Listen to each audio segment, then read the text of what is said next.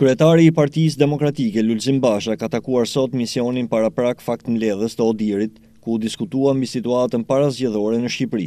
Basha ngriti shqetësimin për rrethanat e krijuara që shkojnë kundër klimës dhe standardeve që kërkojnë zgjedhjet e lira dhe të ndershme. Ndarja administrative ishte një proces i njëanshëm i bërë nga qeveria, pa konsultime, pa konsensus, gjë që nuk ka ndodhur asnjëherë në politikën e njëzet e pesë viteve. Basha tha se kjo ndarje është bërë për kalkulime elektorale, duke e dëmtuar që në nisje garën e ndershme e të barabartë. Kreu i opozitës shtoi se një tjetër pengesë është mungesa e vullnetit të mazhorancës për të ecur përpara me procesin e dekriminalizimit, dhe shenjat e qarta për këtë janë përfshirja në zgjedhje si kandidatë e personave me precedentë të rëndë penalë.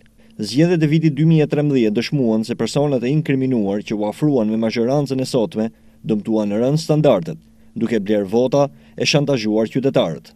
Basha veçoi presionin e vazhdueshëm që i bëhet Komisionit Qendror të Zgjedhjeve si një akt i rëndë që dëmton frymën e këtij procesi. Blerja e votave në zgjedhjet e pjesshme lokale në Korçë dhe amnistimi që i bëri mazhoranca kësaj vepre penale, dëshmojnë se Rama dhe Meta e kanë pjesë të skemës së tyre shitblerjen e votave. Kryetari i Partisë Demokratike i kërkoi përfaqësuesve të ODIHR-it që të sjellin në Shqipëri për zgjedhjet e njëzet e një qershorit, misionin më të madh të mundshëm, duke parë premisat aspak të mira për zgjedhje të lira dhe të ndershme. Basha tha se prania sa më e madhe e vëzhguesve do të ndihmonte për ruajtjen e standardeve dhe shmangien e pasojave që mund të vijnë nga cënimi i votës së qytetarëve.